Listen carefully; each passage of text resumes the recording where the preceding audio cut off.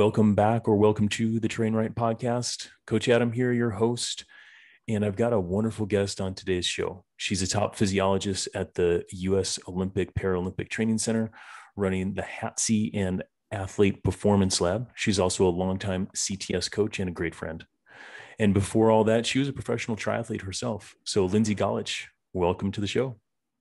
Thanks, Adam. Yeah, super excited to be here. Um, always fun to see uh, old faces um, yeah, and just be a part of this and share all sorts of good knowledge that we've got right now.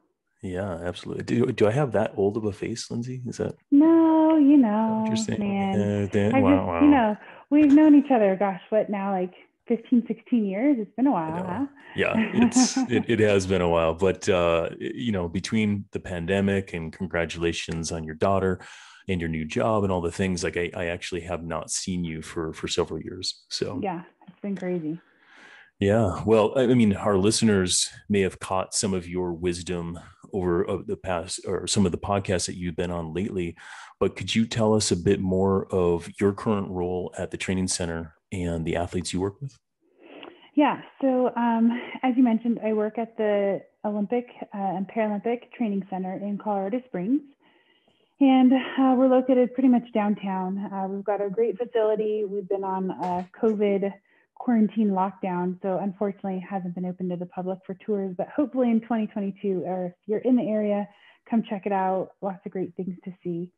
Um, in Colorado Springs, I have a couple different hats. Um, I run our athlete performance zone, um, which really we uh, help all athletes just coordinate using of our different facilities, whether it's our environmental room, just our open area, other equipment like our Alter G or hemoglobin mass testing, different things that we have access to.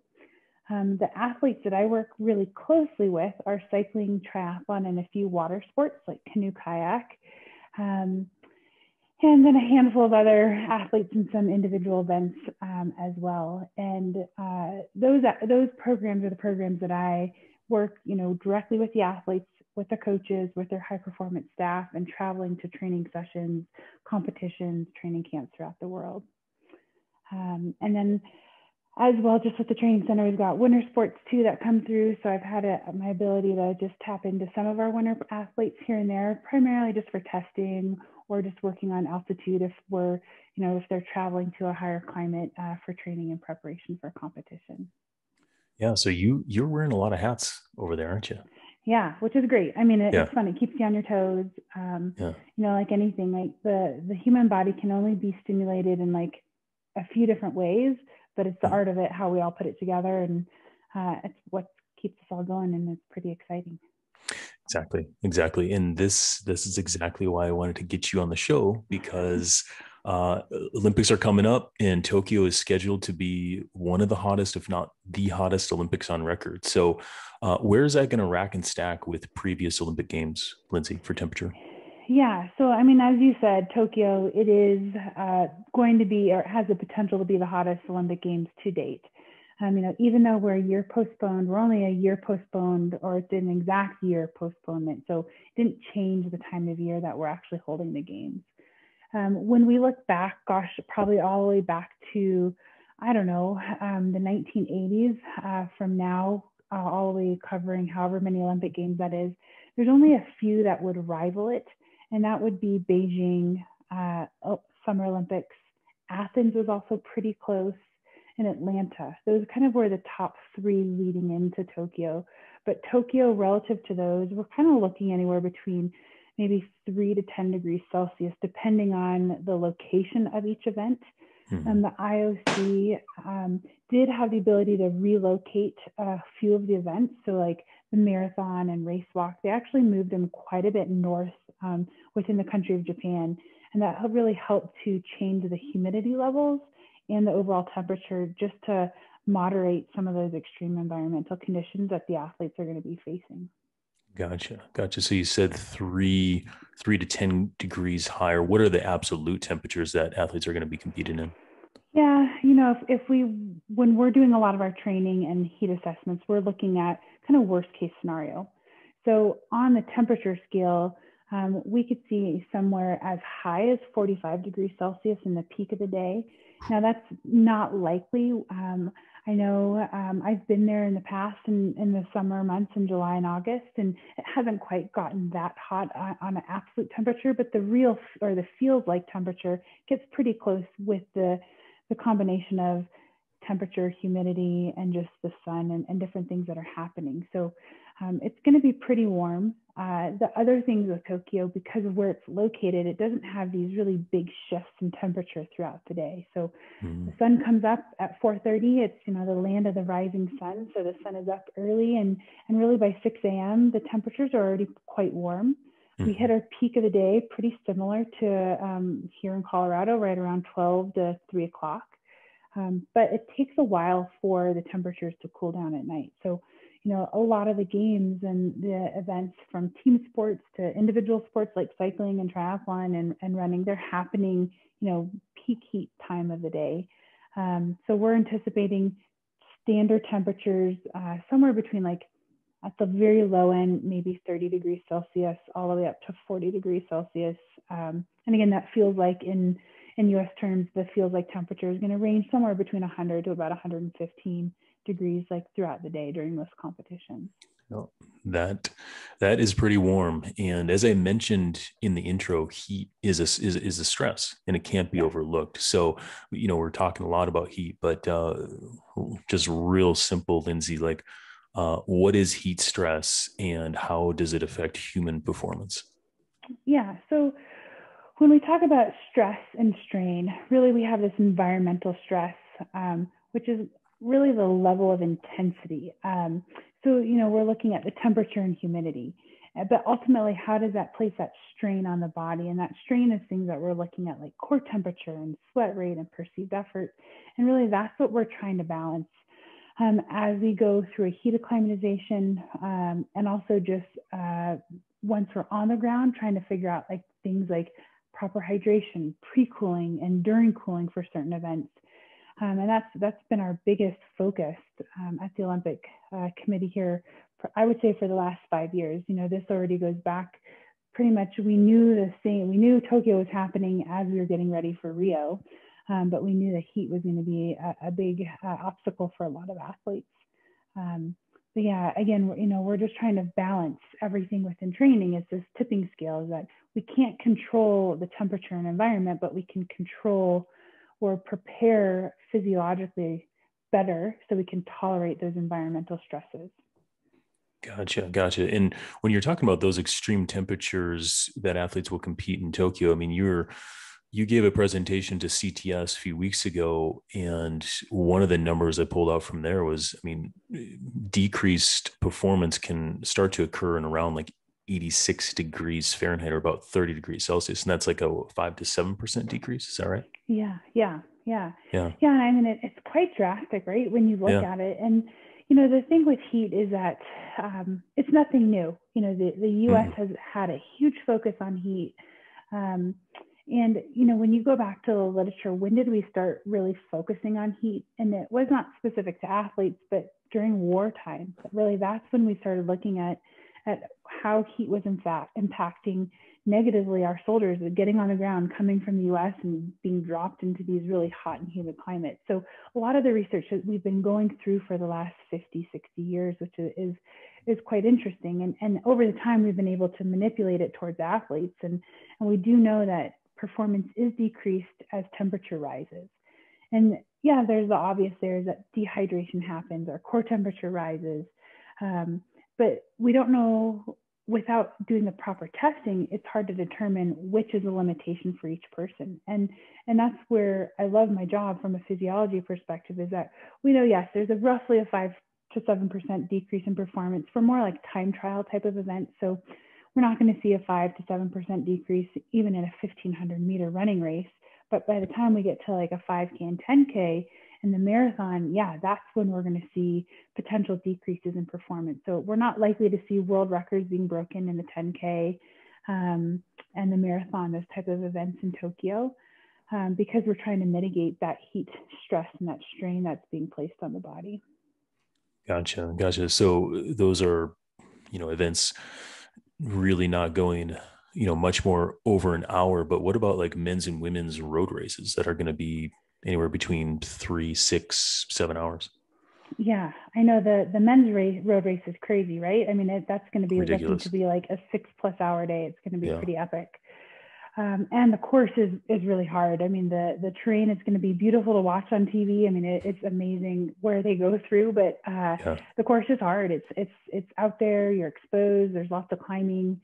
Um, so uh, you know, in addition to the heat, just the stress of the course is going to be challenging. But uh, you know, for that, we're really trying to prepare the athletes on the ground prior to arriving. So there's been a lot of heat acclimatization that the athletes are going through, and, and different strategies.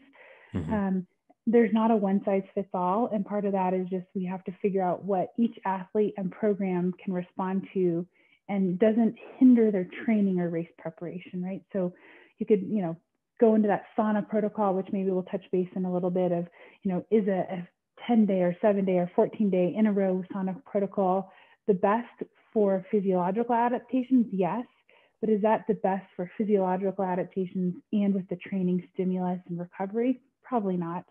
So those are the things that we're trying to figure out how to, you know, balance it all for each athlete.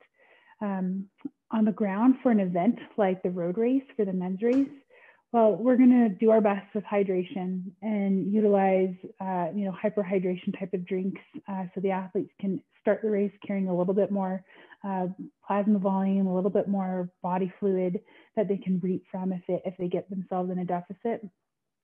Fingers crossed that the caravans will be there and that we can really rely heavily on, you know, getting bottles to the athletes throughout the race and, and little packets of ice and different things to keep them cool. Um, so that's going to be the biggest challenge is that depending on what happens within the race, the splits of the groups and different things of, of being able to manage that. But as a team, we've got everything really dialed in. Um, team leaders and Jim Miller at USA Cycling, you know, this isn't their first showdown. They, they know what to do, they know what to expect, Right. and and we've got a lot of things covered and, and really dialed in for those races. Yeah. Yes. Yes. And we've had a few of uh, Jim's athletes that will be going over to Tokyo on this podcast as well, and uh, kind of talking about some of their uh, strategies for that. Um, but what you said before, just in terms of human physiology responding in a few different ways, and then some of the other things that you were talking about is really the strategies that you're focusing on: heat acclimatization, pre pre cooling, and hydration. So let's let's start with heat acclimatization can you tell our listeners like what that means and how you do it like on a high level Sure. Yeah. So heat acclimatization is ultimately you're trying to prepare the body physiologically to tolerate the heat more effectively or more efficiently. So what happens is that during this timeline, which we've got a short timeline, a short period, which might be just a five day protocol versus a really long, uh, long-term protocol, which might be somewhere about two to three weeks, is that we're we're looking to have an increase of sweat rate. So the body sweats sooner and sweats more. So that acts as a natural cooling environment. Um, we're also looking for the body to retain some plasma volume, which is the water retention part of, in our, of our blood. And then again, that helps us to pull from a little extra fluids during moments of stress or high strain. Um, our thermal, our ability to thermal regulate to just dissipate that heat more effectively. Part of that's the sweat rate, but cooling is just uh, practice makes perfect in those situations. And also, I find one of the biggest things is just the athlete perception, is that your ability to to tolerate the heat is improved drastically. And a lot of these things happen within just the first five days or five exposures of heat, but they're not short, they're pretty short term, so they don't have long term lasting benefits. So for something like Tokyo, where even though the men's road race is a one day event, they're going to be on the ground for seven days leading into Tokyo. So we can't just plan for, you know, race day that everything's going to be good. We actually want to make sure that we're acclimatized before we hit the ground running. So when they get there, we're not having to deal with travel fatigue, the stress of the Olympics, the exposure to the heat, and all these other things. Is that we're trying to minimize as much as we can. Um, so we want to try to do all this prior to getting on the ground and not relying on those first, you know, five or seven days that the athletes are there.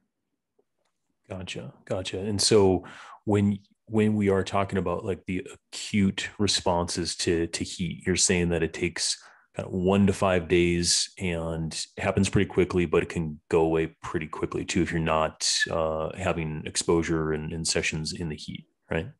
Yeah, exactly. So there's been a lot of good research out there um, over the last five years that showed just five exposures of one hour a day to a heat in a an endurance to subthreshold type of intensity mm-hmm. will give you a good heat acclimatization. So again, the thing is that if we just did five days and then we go straight to our event, we're not necessarily going to have the maximum, you know, ability for increasing our sweat rate or plasma volume retention. We're going to get maybe about, you know, 80 to 90% of it. So pretty close. But, you know, as we're going to the Olympics, for athletes have been preparing some of them their entire life for this one moment or the last five years or even the last two years, um, that we want to make sure that we've got it dialed in and that, again, we're 100% in. So we're, we're looking more at like a, a 14 to 20 day uh, protocol. And again, yep. it's not 14 to 20 days exactly in a row. So yep. if an athlete is leaving, let's say July 1st, um, we've started things on June 1st. So we've, we've given ourselves, you know, a month prior to, again, find that balance with heat exposures, um, versus training and recovery and different stimulus to make sure that we've got that right balance of, you know, stress and recovery and adaptation. Gotcha. Gotcha. Okay. And then what are some of the mm, aspects that you're measuring when you are doing and we'll talk about protocols here in just a minute so listeners can um, get a little more detail on what we're talking about here but uh, when you are doing a session with an athlete or you're trying to uh, influence these parameters to get them more resilient to the heat so that they're ready to go ground ground on the ground running um, are you measuring like sweat loss, sodium? Like, what are you measuring in your fancy lab over there? Yeah. So, you know, sometimes we pull out all the gadgets, and other times it's uh, a simple pen and paper. So, when we do our initial heat stress assessments, we'll look at core temperature, how well an athlete, so they'll actually swallow a small pill, it's about the size of a multivitamin, mm-hmm. um, and that will measure their internal core heat. So we're looking at how they're tolerating the heat, that heat buildup, or, or how quickly they're dissipating it. Um, in addition to you know drinking cold slurries or putting ice towels over their head, um, how well that acts as a band-aid, so to speak, on you know aiding in a, maybe a, a, short dip in core temperature and how long it takes to come back to that initial um, that heat sink that we're looking for. Um, we'll measure sweat rate. So some simple things of like pre and post body weight. That's something that everyone can do. You know, jump on a scale before training and after training and see how much water loss you've lost. Um, in addition to that, we're going to measure how much you drink and eat. So all the fluids going in, all the fluids coming out, um, and even nutrition. So one thing that we'll do with our, our running program is that a lot of athletes have a hard time tolerating a lot of fluid to take in at once. So that we just work on training the gut. So we see how much you can actually drink with each drink. And sometimes it's a lot less than what an athlete thinks. That we might find that they're only drinking one to two ounces, and we need to get that number up to maybe five or six based upon the temperatures we're anticipating or the duration of that of their event. Um, so you drink your bottle, we weigh the bottle before and after and see what you've drank um, on each, each sip. Uh, we'll look at heart rate, we'll look at power if they're on a bike, we'll look at power and all the running mechanics if they're running, perceived effort. So just on that simple scale of six to 20, someone's pointing out where they're, where they're looking and how they're feeling. Um, and I mean, in any day, we'll do all of it or some of it or none of it. Sometimes it's just an athlete needs to go in there and, and do the training. And we know that it's creating a stressful environment, but that's, that's the goal of the day. Um, the one of the more important things that we can look at and to confirm that there's a heat, heat adaptation going on is at sweat sodium concentration. So from the beginning, maybe from day one, we'll put patches on and look at how salty an individual sweat is, as well as how much volume of sweat they're losing. Over the time of their heat adaptation is that we should know that their sweat rate increases so again, that you're sweating more, you're cooling your, your body off more, but that sodium concentration will actually decrease because you're sweating out a higher volume of water. So that's another way that we can actually assess in addition to seeing how your body internally with a core, te core temperature pill is uh, kind of tolerating that heat.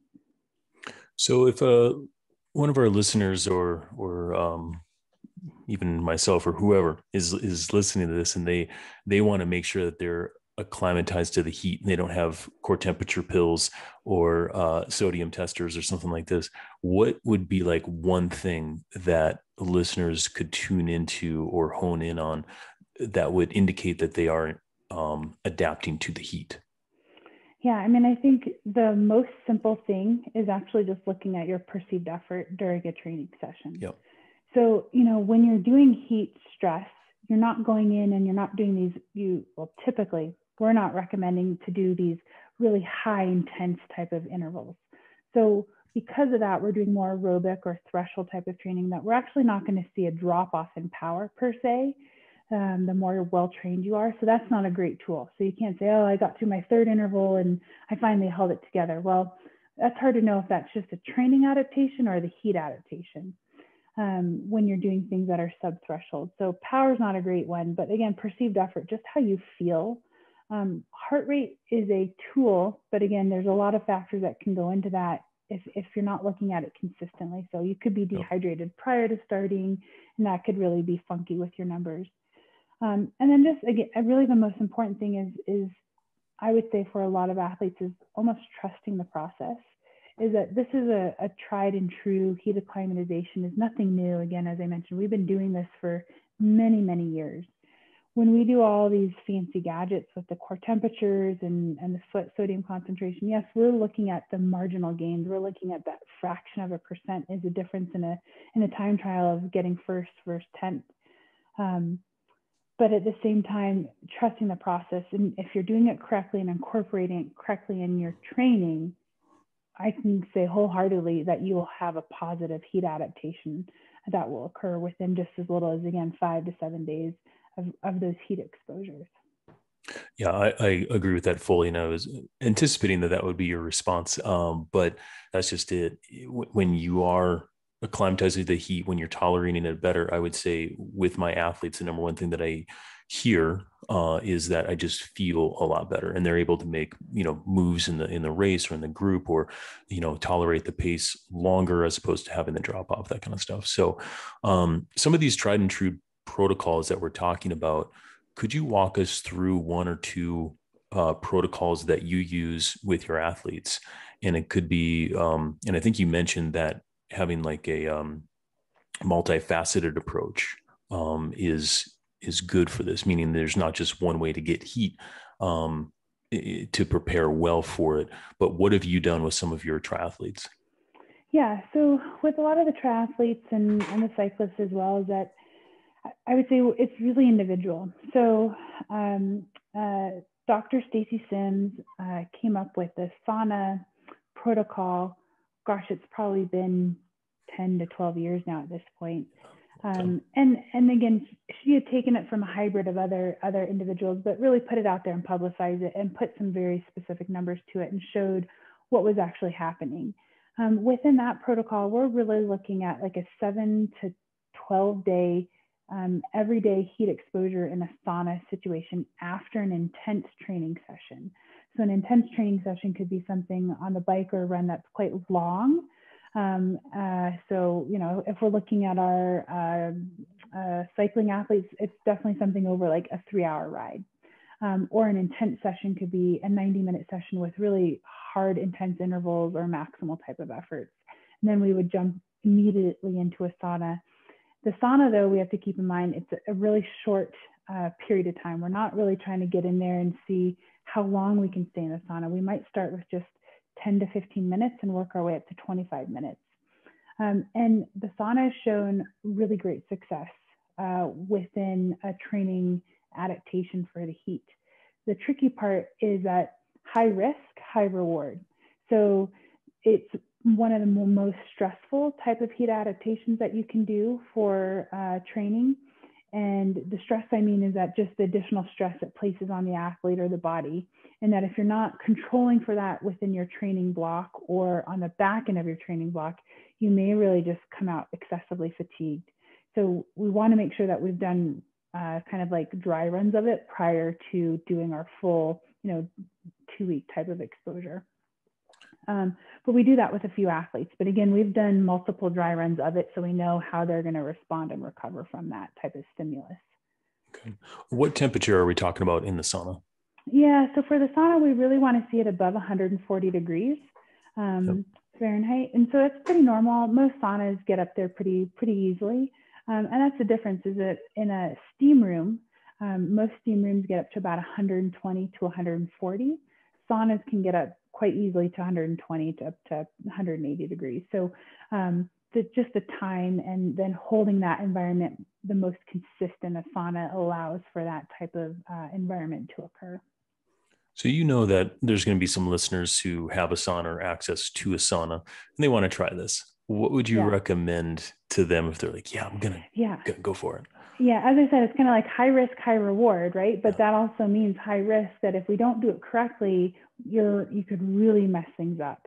So, you know, I'm sure you talked about altitude, right? Like living in an altitude tent. We're looking for that 1% gain in a in a heat adaptation. Yes, we're talking about a delay in heat um, exhaustion basically in performance, yeah. but we're not actually stopping it. We're just delaying the, the start of that happening, but it has the potential still to happen even, even after going through a heat acclimatization protocol. But hopefully we're delaying it by minutes, uh, you know, which allows for, you know, better decision making or reaction times in a type of a, an event. But um, with that, I would say that if you are looking to do it, let's say you're getting ready for like a Kona example, and you and you live in Colorado where it's hot and dry, but we're we're not nearly as hot um, and dry or humid as Hawaii. That I would say if you're getting ready for an event now, where you you're looking at the calendar and you've got three or four months to prepare for it, is that I would look at doing maybe a three day period, you know, soon and see how you respond to it and what the fatigue how that how that impacts your training. Um, so then you have some feedback again on how you need to adjust your training during that cycle and or immediately after it. Um, and then in another month or month and a half, do again another three or five day period. Because again, you're you're getting more fit as you're going through it. So I know not everything's 100% as if you're going into your final taper, um, but again, you're you're you're hopefully not doing something brand new, something that you've never done prior to your maybe most important race of the season or your whole entire life. So yeah, yeah, that's really good advice. And I and I really the reason I bring it up is um I probably can't stress enough of thinking thinking about the whole stress, the whole bucket of stress that you have going on, training stress, life stress. Now you add in heat stress and you do need to balance it out so you don't overcook yourself because you said high risk, high reward but you know that risky component is you come out like way too zonked and like a medium zonk. This is what i see from athletes and they they can't put their finger on like why they're tired all the time and maybe they perform like pretty good here and it's like oh no i'm fine. But then they like kind of bad performance for a few and they're like what's going on? So coach lindsay like how do you how do you balance that with your athlete? Is it initially just be safe and like take training intensity down and volume moderate as you introduce uh, heat in, or how do you do it?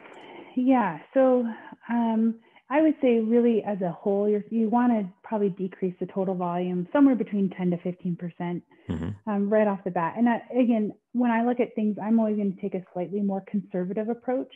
Yep. Um, because when I when ultimately the most important thing for any type of race environment, whether it's hot, humid environment, high, cold, um, altitude, whatever it might be, is to show up as fit as you can be and as healthy as you can be.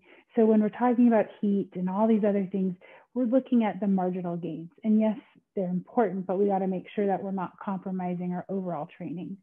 So again, for the training perspective, I would say volume and intensity, I would decrease just right off the top by 15, 10 to 15%, um, even just for that three day period, just so you know how you're going to respond. Um, and then as you kind of go through trials of it, then you can figure out maybe how to layer things back in and what's appropriate and what may not be. Um, you know, just an example, we had a lot of our track cyclists just go to Knoxville for cycling nationals and, um, uh, you know, all, all the track athletes, they're getting ready for a four minute race, not a, you know, a three hour race. So that in itself was challenging, but due to COVID, there's been almost no racing. So we needed just the stress of a race environment, but we're hoping is going to give us a slight uh, ability just to see how everyone res- responds in the heat. And everyone's coming back, and it took a lot more out of the athletes than we actually had anticipated. Um, even though it wasn't as hot or as humid as it could have been there, um, during during nationals, but there's still just an element of just being out there in that environment, you know, doing things after the race or just some Olympic fun day things that it just took its toll. Um, so on the back end, even though we had this perfect plan, you know, for a few days back here in Colorado, we had, we had to adjust everything for a few days for some athletes just to kind of get back. So even if you you think you've got it all dialed in, you know, we're people, we're not machines. We're still going to change. There's different stresses. So you just have to be adaptable. And I think that's the most important thing is that if you're working with a coach, you got to communicate really well with your coach because that's what they're there for. If you're coaching yourself, don't be afraid to take something off. It's it's better on these uh, heat stresses and different things to eliminate something than try to keep adding more and more things to your schedule.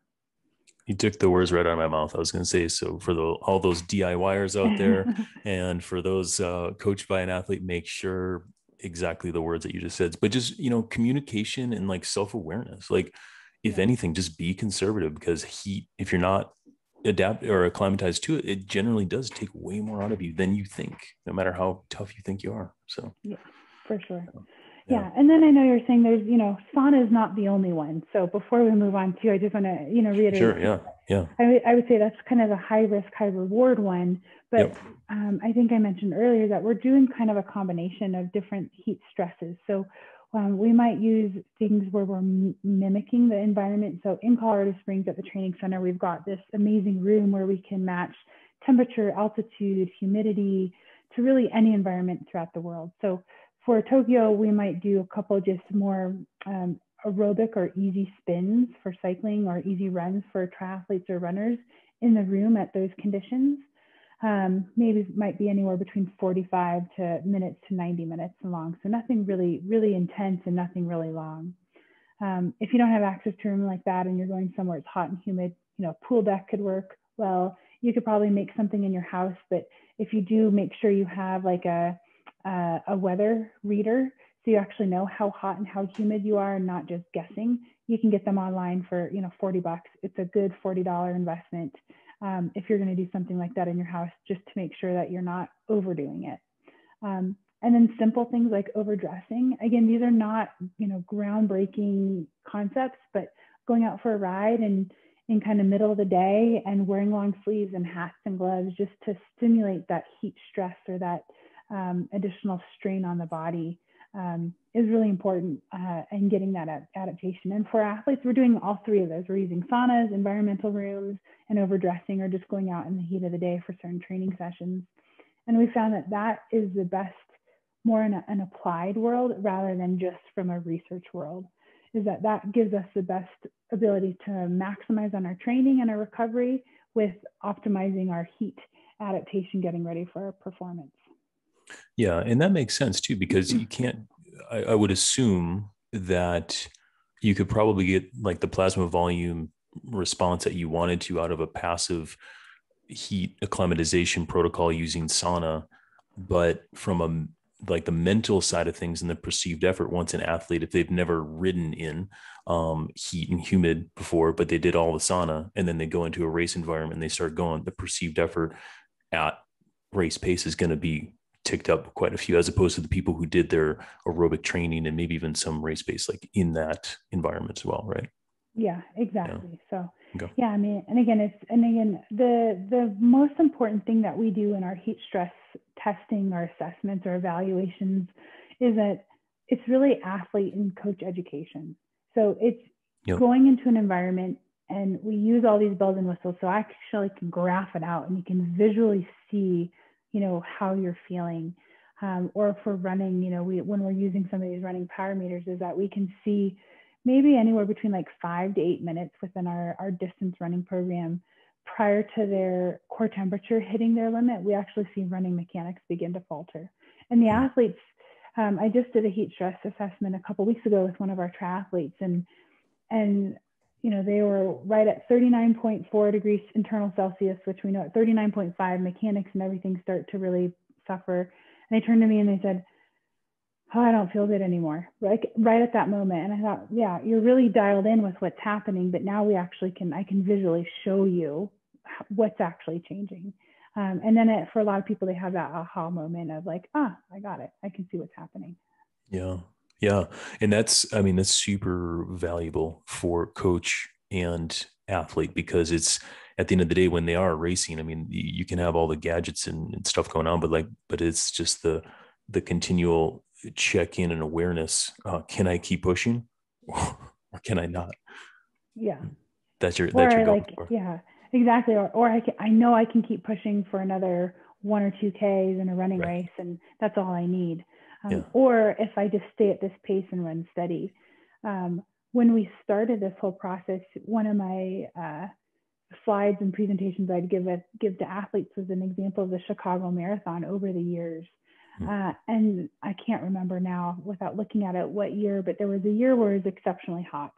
And you look, they graphed out the winners in the men's race of every 5K as they're going throughout the, the race and who ended up winning. Well, the the guy that won was the guy that ran the most steady or there was a surge somewhere right around 20 25k into the race and they increased their 5k split you know or they dropped their time by almost like 20 or 30 seconds over that 5k and all the athletes that went with it none of them uh, placed in the top three Mm-hmm. And the reason for that, it's not because of form. All these guys can run, you know, pretty close to one another, but it was the heat sink that it did it in those conditions that they couldn't recover from it. Um, so it's just like you said, it's learning that and understanding it, and then having the confidence on race day to execute your plan and not get caught up in, you know, what's happening all around you. Yep. Yep. That's it. That is it. Well, um, I know we've got a lot to talk about still, and I know you mentioned uh, uh, pre-cooling and hydration. So let's let's touch on that, and then we can um, start to wrap this up a little bit. But when you're talking about pre-cooling, um, what is what is the goal here, and, and what are we trying to achieve? Yeah, so pre-cooling we use prior to. We're going to talk about just competition here. Is that yep. what are we doing to like drop that core temperature uh, to moderate that thermal load that we have. Um, so leading into um, the Tokyo Games, uh, Dr. Randy Wilber, who's one of our senior sport physiologists, worked with Nike and we helped to design this new ice cooling, Nike ice cooling vest that's out on the market now. Um, and the goal would be that we wear that prior to going out to competition. So if you just watched uh, US track and field uh, um, Olympic trials, as the women were coming out for the 10K, a lot of them had these cooling vests on. And so really prior to the timing that the gun goes off, we're just trying to lower core temperature back to a stable level. We don't actually want it to get too cold so you can't respond, but bringing that core temperature right back to that like 37, 38 degrees Celsius, which is just our, our normal, you know, 97, 98 degree core temperature um, that we're feeling. Um, and, and again, what that helps to do is that you're delaying that uh, onset or decreasing the initial ramp rate um, at the beginning of a race. So if the race is going to go out hard, um, really short, you know, from the beginning, whether it's a running race or cycling race or triathlon, is that we're helping to just dissipate that heat early on. Um, in addition to cooling vests, there's a lot of stuff out there just on drinking like ice slurries and ice slushy drinks. Um, and that you have to drink quite a bit for it to be truly impactful. So that's something that you, you need to train and practice with. You don't want to try that just out of the blue um, prior to like a really intense training session or race day. Um, but that has shown that it can help to decrease or delay the onset again of a, a higher core temperature. And, and, going back to what you talked about in the beginning is that when we can moderate our heat with heat acclimatization or delaying the onset of that, of that core temperature where we know performance starts to decline, we're, we're increasing our odds for success, right? So again, we're not necessarily going to stop at our core temperature from reaching really high, high extreme levels, but we're delaying the time that it can get from point A to point B.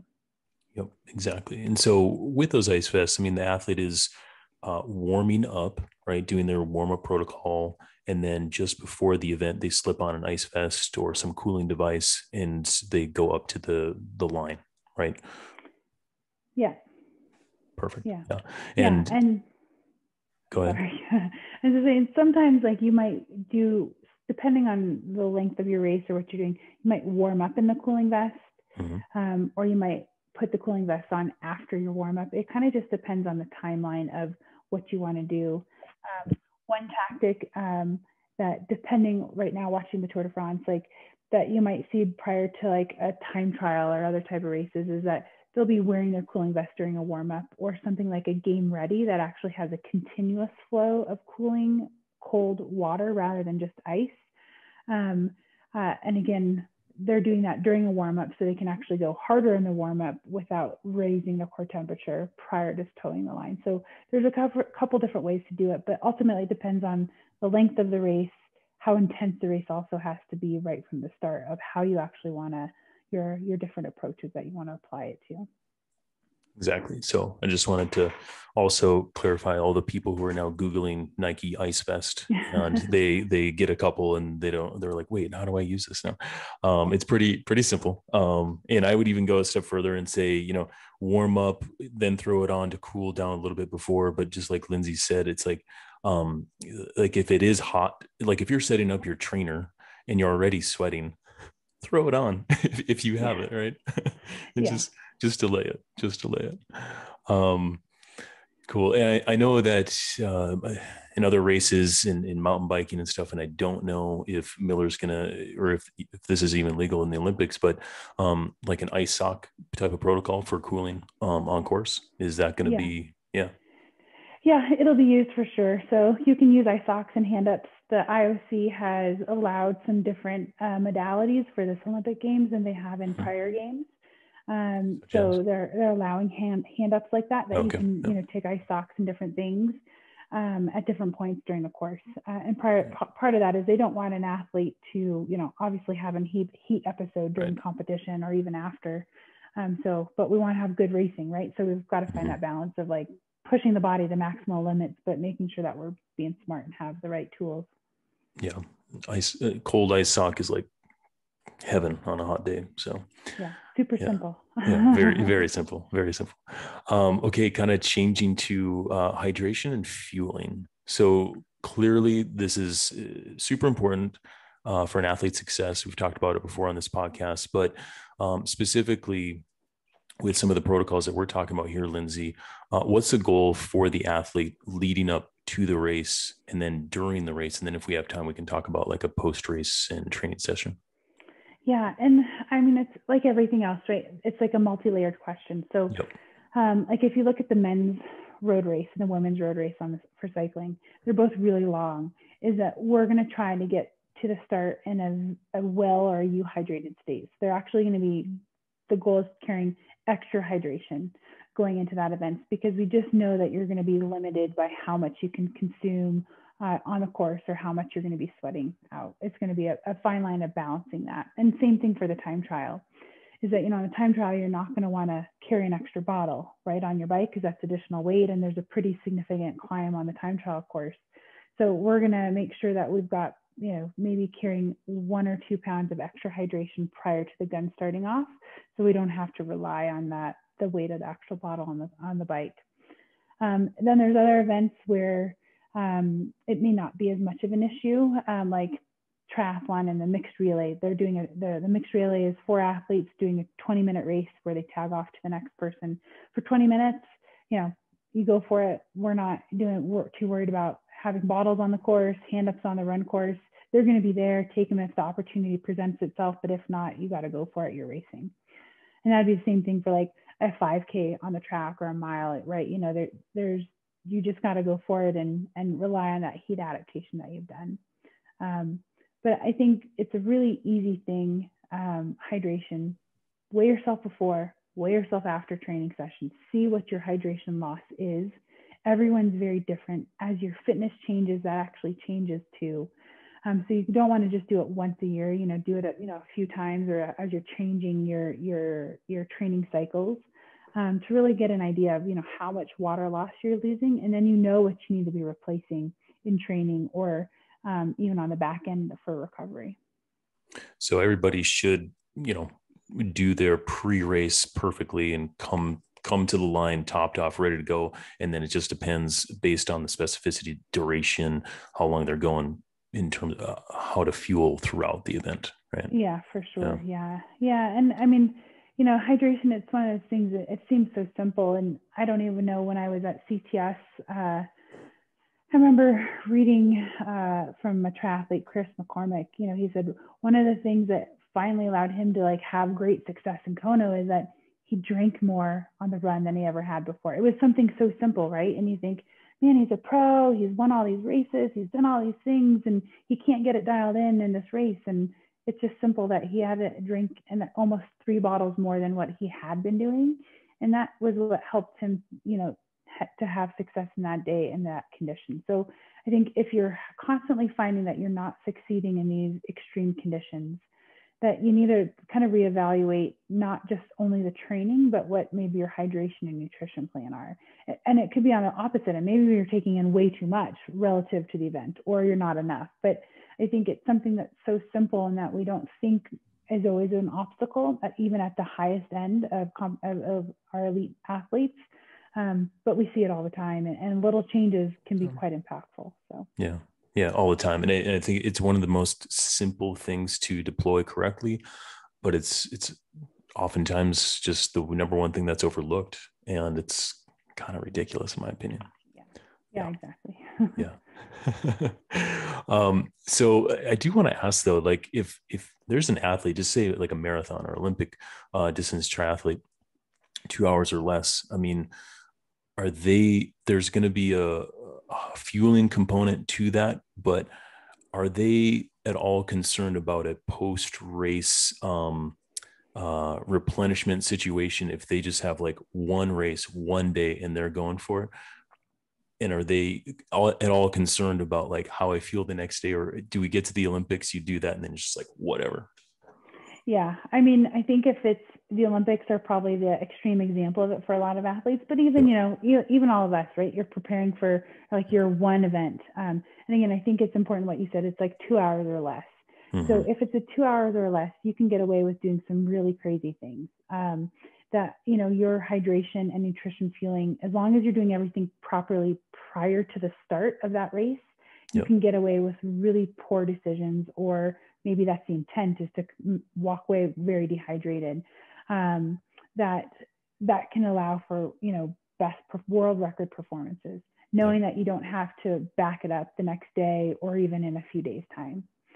I think the biggest thing is that like now you start thinking like three hours or more or i think of like right like the leadville 100 mountain bike race and people yeah. out there like 10 hours like you you you have to make sound decisions for those type of events because it's so taxing in itself. So there are some like as i mentioned like the mixed relay 20 minute race like you're just going for it there you know you there's no holding back but even for a two hour race so the marathon a 10k running race the triathlon those are all like about two hours is that we're doing just enough to get by but we're not actually trying to worry about staying within that three to five percent hydration status. We're kind of doing just enough to maximize on performance without causing any disruptions to the race plan.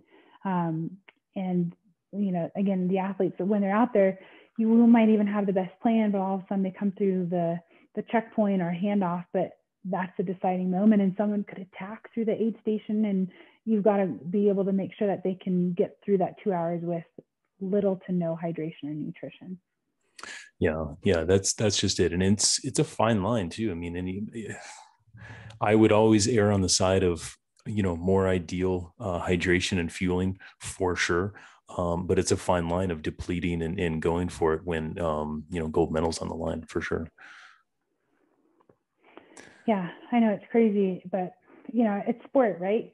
So yep. we also have to keep things in mind too is that you know we're talking about the olympics but if if if it's your own personal olympics but you still have to get home and you've got like four kids at home and a full-time job and you, you have to keep in mind like you can't be just completely wasted because yes we as coaches we want to see you succeed on that day in sport but you also have to succeed in life outside of sport too. So, right. So, depending exactly. on what your world is, like we've just got to keep things kind of in the right context of what you, what your timeline is, where you are, and all the other responsibilities you have, like on the field and then off the field, so to speak. Yeah. Yeah. 100%. Gosh, Lindsay, I feel like we could we could literally talk for hours, and we didn't even touch on altitude, which um, is yeah. kind of like your expertise. So maybe uh, when life settles post Tokyo, we get you back on for some altitude talk. But uh, uh, heat's a huge stress, and it's a big factor to consider when you're implementing this into your training program. Whether you're you're going for Kona uh, or La Ruta or the Olympics, it's it's a thing to consider in your training. Lindsay mapped out why the heat can hurt you, how best to train for it to minimize the stress and to delay that rise in core temperature that she was talking about. It's inevitable, it will go up, and there probably will be some performance decrement. But these uh, tips and, and tricks and training protocols that she's talking about will help you feel better and perform longer at these events. So, Lindsay, any any final words of, of wisdom to our listeners who you know n- maybe never even thought about training for the heat, uh, how would what would you tell them when they have an event coming up? Yeah, I think I mentioned it earlier, but you know, look at your event and work backwards, and make sure you've got a couple trials um, where you're you're putting yourself through these stresses far out prior to your big competition, so you just know what to expect. There's again a lot of research that shows that even if you're not getting ready for a hot and humid environment, doing heat adaptation still has positive uh, applications towards training and competitions in the cold. So you're not going to lose out on anything by doing something, even if it's just a short three to five day kind of touch touch in and see how things are going. Um, but I, I think it's important to know like where where our body's limits are um, and understand, you know, get that feeling. So when you're out there competing and training, that you can make good decisions of, you know, I'm at my limit and I need to slow down, else I'm not going to get to the finish line. Or if I drink a little bit more or make sure my bottle's a little bit colder, um, that I can actually go a little bit further or go a little bit harder. So um, I think practice in this thing, in this context, would, is really important and really critical to just to optimize your performance, whatever your end game or end goal might be. Couldn't agree more. Words of wisdom right there. so, Lindsay, thank you so much. I mean, yeah, I learned thanks. a ton. I learned a ton. I know our listeners are going to learn a lot from this, and I really appreciate you taking the time uh, your busy day to to jump on this uh, this podcast. So, uh, good luck to you. Good luck to Team USA in Tokyo, and uh, we'll be watching. Perfect. Thanks, Adam. Thanks.